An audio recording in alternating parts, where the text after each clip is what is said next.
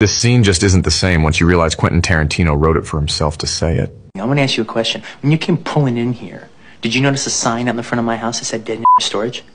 Jimmy, you know I ain't seen no shit. Did you notice a sign in the front of my house that said dead storage?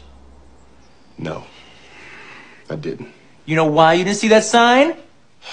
Why? Cause it ain't there, cause storing dead niggers ain't my fucking business, that's why! Nothing sums up how I feel about this more than this skit by Very Rich Comedy. Uh, Quentin, I don't think you can say this word. I mean, if it's written in the script, I have to. The script that you wrote? I mean, you're you're using the hard R here, man. It's important to the scene.